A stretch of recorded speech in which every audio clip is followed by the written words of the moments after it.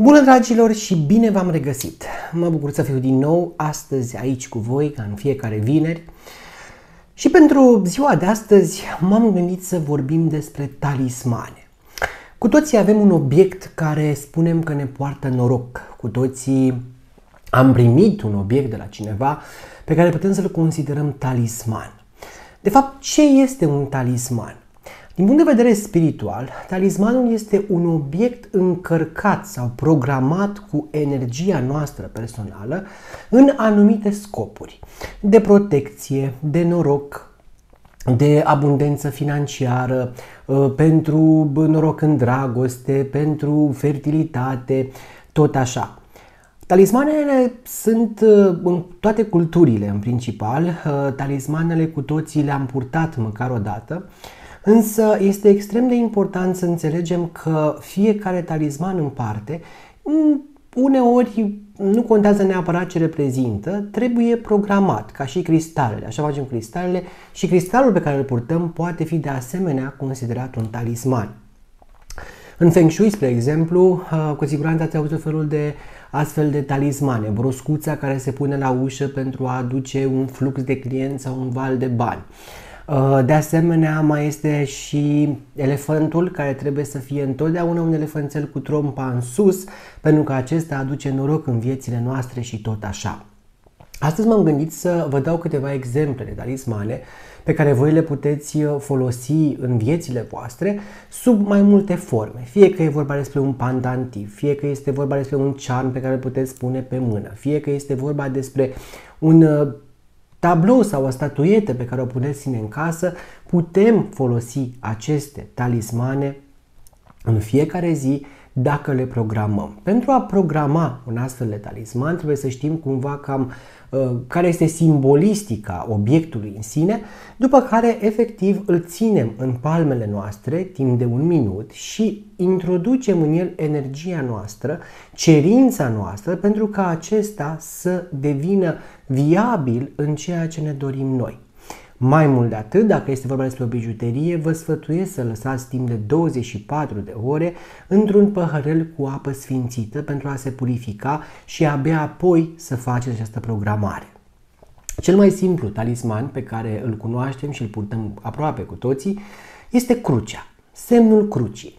Acesta oferă protecție permanentă divină și îl putem folosi asupra noastră, îl punem în case, îl punem în mașini, îl punem la birou.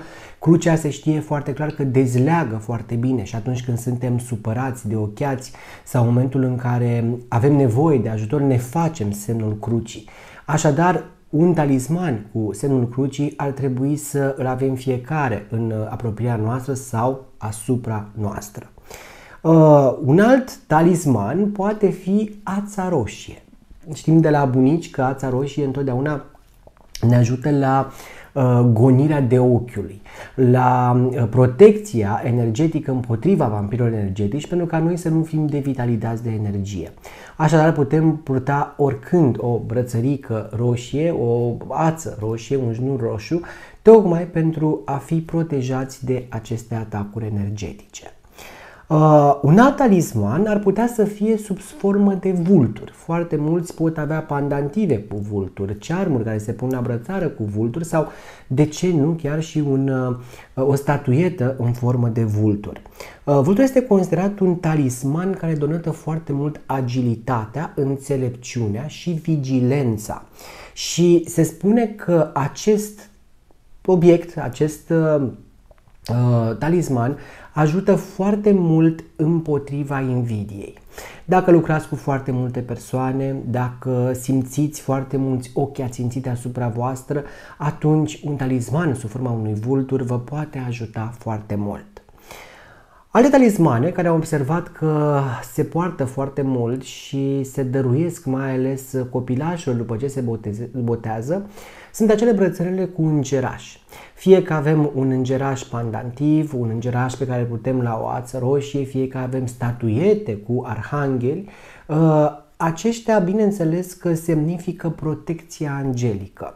Uh, este un simbol foarte puternic uh, care ne face tot timpul conștienți de existența îngerilor noștri păzitori și arhanghelilor și putem să beneficiem de ajutorul lor foarte rapid punând mâna pe acel talisman pentru că atunci când vedem cu ochiul fizic da, uh, acea interpretare înseamnă că ne conectăm mult mai ușor la ajutorul pe care aceștia ni-l pot oferi. Mulți dintre voi aveți câte un bănuț pe care îl țineți în portofel, un bănuț de argint sau efectiv un bănuț Feng Shui. Sunt acele monede sau bănuți norocoși în Feng Shui care uh, au o gaură pătrată în interior. Acesta este un talisman uh, care aduce noroc la bani și la avuție, să spunem. Uh, este foarte bine fie să-l purtați în portofel, fie să-l aveți la blocul de muncă sau afacerea personală sau pur și simplu puteți purta la gât ca și pandantiv dacă este într-un alt material uh, cum ar fi argintul sau aurul.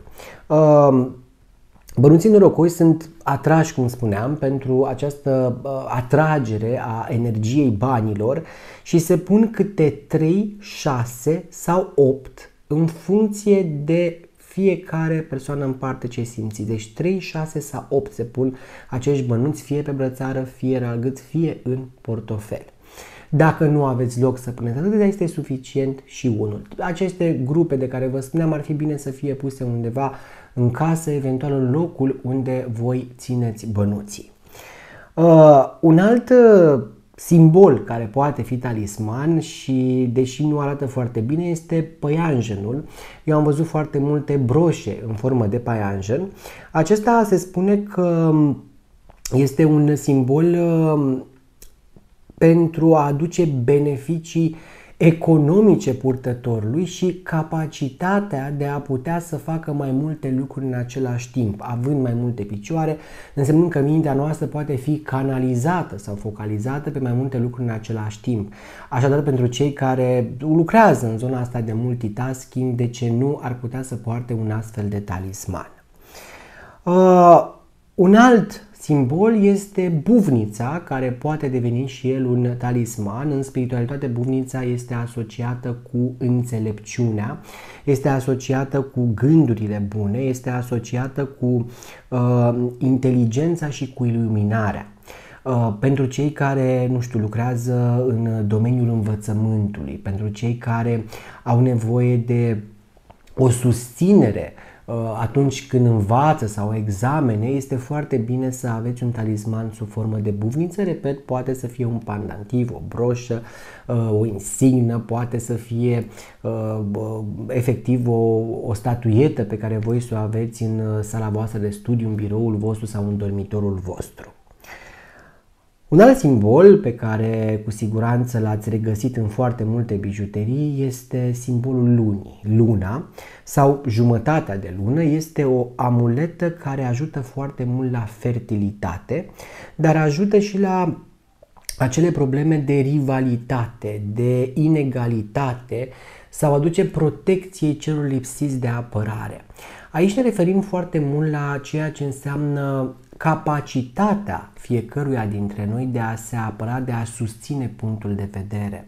Dacă aveți trac în a vă spune părerea, dacă întotdeauna vi se pare că nu puteți răspunde uh, provocărilor care vin din partea celorlalți, un astfel de talisman programat fix pentru acest lucru vă poate da puterea de care aveți nevoie la momentul potrivit. Porumbelul de asemenea este un uh, talisman care aduce liniște, aduce fericire și stabilitate celui pe care îl poartă. Gândiți-vă că porumbelul este și în toate uh, reliefările Sfintei Trăim. Uh, acest porumbel poate fi la fel purtat în toate celelalte moduri de care vă spuneam înainte și bineînțeles că ajută foarte mult și la evitarea conflictelor cu celelalte persoane. Uh, se recomandă ca acest uh, simbol, acest talisman, să fie în principal din porțelan sau din ceramică. Se spune că odată pusă uh, interpretarea acestui simbol în ceramică sau în porțelan, puterea lui este mult mai mare. Uh, un alt simbol pe care îl întâlnim în foarte multe culturi este piramida. Uh, piramida și triunghiul au fost întotdeauna, de fapt, niște simbole ale puterii divine. Uh, formele triunghiulare și piramidele sunt puternice pentru atragerea energiei pozitive în aproape toate culturile din lume. Asta înseamnă că a purta o piramidă asupra ta sau în sta în prezența unei sculpturi în formă de piramidă nu face altceva decât să aducă foarte multă lumină, foarte multă energie bună, foarte multă pozitivitate în viața ta. De asta cred că avem nevoie cu toții și fiecare dintre noi putem purta un astfel de talisman cu ușurință. Dacă am vorbit despre lună, acum vorbim și despre interpretarea soarelui, Uh, am văzut foarte mulți oameni care poartă câte un soare la gât. Aceasta este considerat ca fiind un talisman foarte special, un simbol foarte special, dacă vreți. Este un Talisman care ține de toate lucrurile de fertilitate, de abundență economică, fericire și noroc. Cumva, dacă vreți, însumează unele din, dintre cele menționate anterior, așadar puteți folosi un soare tocmai pentru acest lucru. Și repet, talismanul acesta poate fi chiar și un tablou, nu este nicio problemă.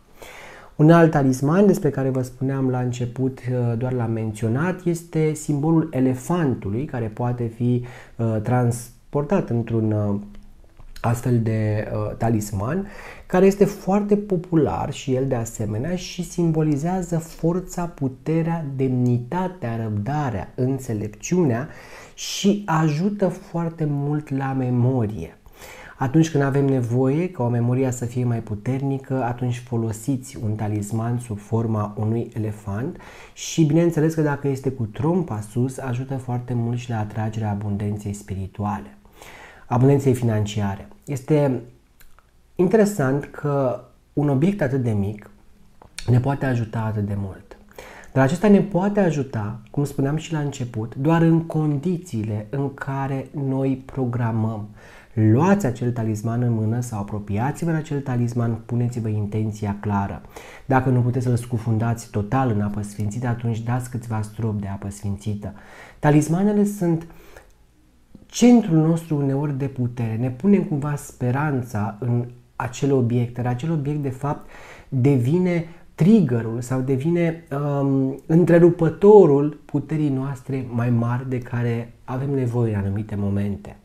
Dacă a fost de folos acest video, am să vă rog să dați un share și bineînțeles să vă abonați la canalul de YouTube pentru a fi la curent cu tot ceea ce postez nou. Până data viitoare, vă doresc să fiți fericiți. La revedere!